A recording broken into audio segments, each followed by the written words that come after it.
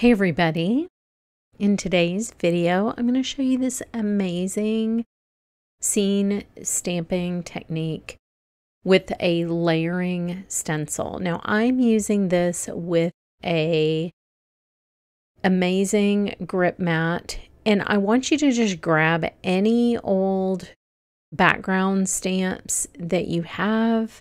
They can be clear, they can be cling, they can be anything you want. You just want texture, different textures, tight texture, larger texture, that kind of thing. And I want you to set up your layering stencil on your grip mat over a piece of cardstock. And then I just do the taco stamping technique where I'm grabbing the stamp with my hand after it's inked up and pushing it really hard through the stencil.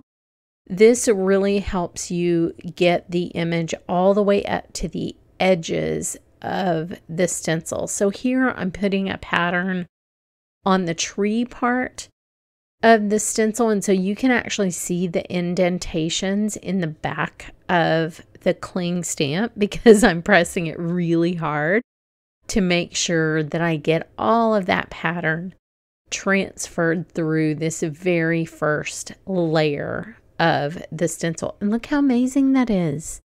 Is that the coolest tree trunk you've ever seen? Just from some random background.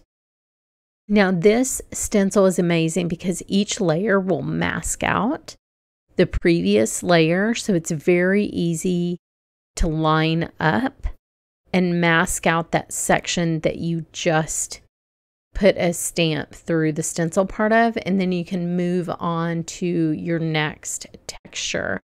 So for this layer, I'm using, again, just a random texture stamp that I had that has like these little bubbles almost. And I'm using this on a clear block, and you can see it's not nearly as effective as just picking it up and stamping with your hand. So I cannot recommend taco stamping enough. Use the tools that are on the end of your arm and get in there and press these stamps down for these different layers. This one is so fun. I don't even know what set that's from. I'll try to look this up before I do the supplies. But it's really fun because it has like a smoke kind of feel. It has like these little round elements that pick up a little bit of texture, even though this is all just black. It's giving it this fun, sort of cloudy, smoky texture in all of those open spaces that are in the second layer. Now, I love the grip mat because it really hangs onto my stencil so I can get in there and get nitty gritty with the stamps and my stencil is not going to move, which is amazing. So you can already see how cool this is. It has like this ultra modern, kind of almost like Japanese sort of feeling to it. And then I go put in the next layer. So again, this layer is going to mask out other layers so that you don't have to worry about contaminating previously stamped layers with this layer and I'm just putting in one of the hillsides with one of my background stamps. It has kind of like a furrow cloud field sort of feel to it, which I love. Now I have a layer that is going to mask out all of those trees and bushes.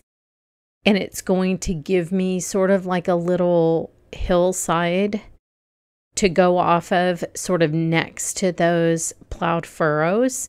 So again, I'm just picking a background stamp, smushing it through the opening with my thumbs, and then holding down one corner of it to check my image before finishing the stamping. So now I have two kind of contrasting hillsides of the same pattern and I'm ready to do kind of the foreground work with the ground. And you can see where it masks out the tree, so it's very easy to line up and just open up that bottom part for me.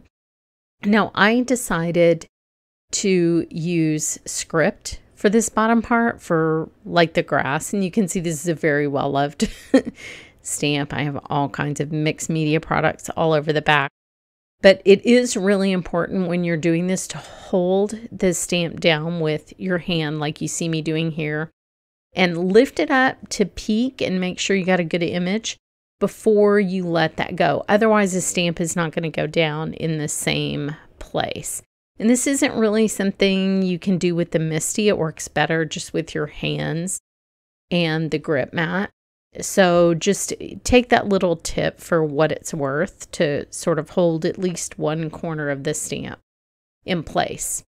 So now I have another kind of half tone print stamp that I'm using to put little dots onto these clouds. So there's the last section of the stencil that has like little cloudy shapes. It's very fun. And I thought that little polka dots would be, or halftone dots would be fun for those little clouds.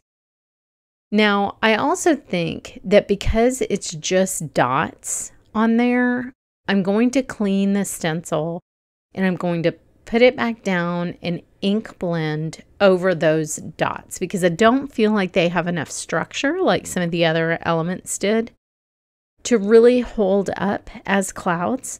So I'm grabbing a gray, just a pale gray ink and filling in those little clouds. So they really do look more like clouds. And I think that makes a big difference in the finished card. So here's this fun, funky modern scene stamping card that was so much fun and such a different way to use your stencils. So head over to my blog for more information and thanks so much for watching.